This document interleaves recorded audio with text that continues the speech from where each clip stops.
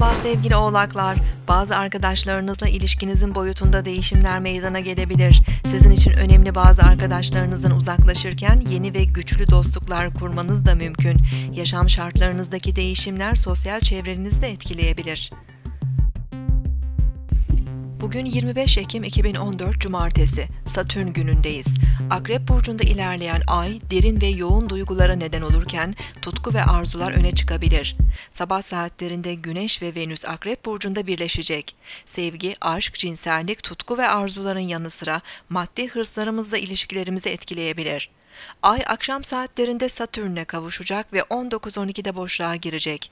Endişe, korku, karamsarlık gibi duygular ruh halimizi etkileyebilir. Sorumlu olduğumuz kavramlarla ilgilenmek ve ciddi konulara zaman ayırmak isteyebiliriz.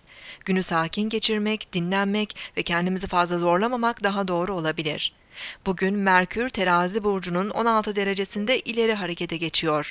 Zihinsel yapımızda oluşan dengesiz ve kararsız tutumlar, iletişim sorunları sona ererken ilişkilerimizde denge ve uyumu bulmamız daha kolay olabilir.